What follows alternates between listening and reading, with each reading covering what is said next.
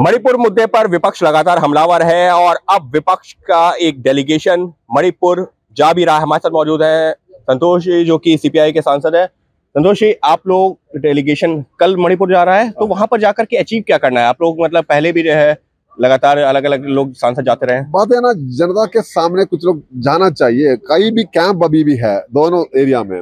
Hilly area में है और इम्फाल एरिया में ही बहुत ज़्यादा कैंप अभी भी है और इंटरनेट बैन अभी भी है। इसलिए हम जाके क्या नया परिस्थिति क्या?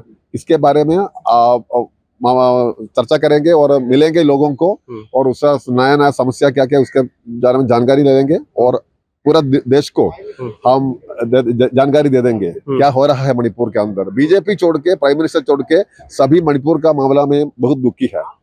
और पूरा दुनिया मणिपुर के बारे में आजकल डिस्कशन हो रहा है। यूरोपीय यूनियन भी डिस्कस कर दिया। हम उसको समर्थन नहीं देता हूँ। लेकिन बात ऐसा है परिस्थिति उतना खराब हो गया ऐसी परिस्थिति में हमने पहुँच गया। हम लोग जा रहे हैं इंडिया अलियंस और हम जाके आपको बता देंगे मीडिया को और पूरा देश को बता देंगे। कितने राजनीतिक दल कितने नुमाइंदे सत्रह पता नहीं पता अच्छा। आज ही फाइनल करेंगे। ठीक है उसके अलावा जो है सवाल ये उठ रहा है कि सुप्रीम कोर्ट में भी मामले की सुनवाई है। केंद्र सरकार ने बोला है कि जो घटना हुई थी जो वीडियो आया था सीबीआई जाँच की जो है अनुशंसा भी की जा रही है। तो कार्रवाई तो केंद्र सरकार सुनिए चार हज़ार से ज़्यादा एफआईआर है। ये एक वीडियो अभी बहुत प्रचार मिला उसको वायरल हो गया लेकिन इससे बहुत ज़्यादा वीडियो है। मेरे पास भी वीडियो है लेकिन जानबूझ के मैं हम रखता हूँ मेरे पास। हम लोग नहीं इसको वायरल नहीं करता हूँ। एक वीडियो ठीक है लेकिन उससे बहुत ज़्यादा वीडियो है और चार हज़ार से ज़्यादा केस है। इसलिए ये बहुत छोटा मामला नहीं है।